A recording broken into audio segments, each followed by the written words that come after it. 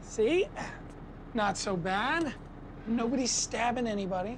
Okay, we didn't think that, Douglas. Well, I did. That's why I'm not carrying any cash. Really? So I gotta pay your fares? How much is it? A dime? Oh my God, Mom.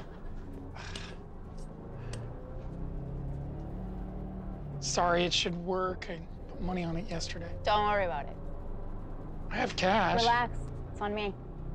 I saw you help out that rich old lady and her daughter. You do what you can. You can always tell the people who've never ridden a bus before. They act like they're going on a poor person safari. Their entitlement's disgusting. Olivia, Douglas. Actually, Doug. Down to earth Doug. That's what my buddies in the warehouse call me, where I work. You know, with my hands.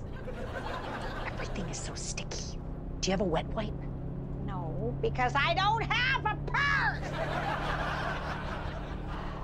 Those weirdos are making me uncomfortable. You mind giving me your number in case they try to follow me when I get off the bus? not gonna do that. It's worth a try. Guess you'll just have to ride again tomorrow so I know you're okay. I guess I will. Because I don't have a car. And I take the bus to my job. At a warehouse. Bus driver seems cute. Don't talk to me, don't talk to me, don't talk to me.